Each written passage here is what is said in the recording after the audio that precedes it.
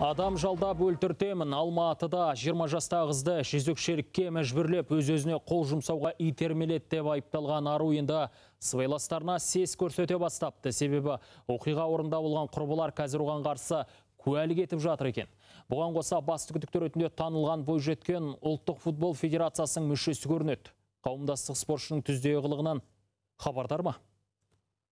шашыңды кесіп бетің бәрін тіліп тастаймын қазір деді екі үш сағаттың ішінде жүз мың теңге табу керексің деді мен таба алмаймын ғой маған ешкім ақша бермейді онда. Бес жігітпен квартирада жатасың да сосын шығасың деді қатыгез қыздардан қысым көрген шарасыз бойжеткен бір апта бұрын бізге осылай мұңын шаққан еді. Жәбірленуші тәнін сатуға күштеген қаскөйлерден қашып үшінші қабаттан секіріп кеткенді. Жабылған жеті арудың арасында болған жансая мен сабрина сол түні жазадан құтылудың жолын тікелей эфирде ашық талқылаған. Мен показания берем роботаға ше неді короче бүкіл ашамын да өзімді ақтаймын да. Сен ақтап айтасың айка айдап салды деп.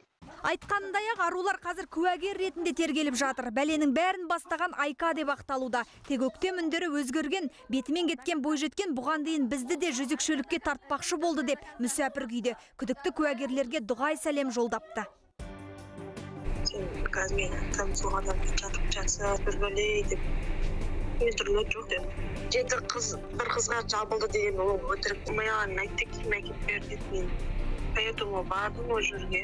Айка мен биз январдын жыйырма тогузу күнү таанышканбыз чындыкты айткан үчүн эгер мен сотталып кететін болсам қызым жетім болып кететін болса еүйлемінда арттарына адам салып өлтіремін деп айткан Аз күнде атағы жайылған Айкаға қатысты ақпаратты Немалчи қоры жариялады. Өкіл 20 жастағы бойжеткеннің шымкенттік полицейлермен байланысы мықты екенін айтады. Сондай-ақ суретке сенсек, ол ұлттық футбол федерациясының мүшесі көрінеді. В Шымкенте ее прикрывала полиция Шымкента. Оның қылмыстарын бұл уақытқа дейін шымкенттік полицейлердің жасырып келген жұрт жарыса жазуда. Қорға келген хаттарға сенсек, күйеуі түрмеде бір қызы бар. Ол аздай ұлттық құраманың спортшысы сияқты. Әйтпесе ресми парақшада арнайы формамен не істеп жүр?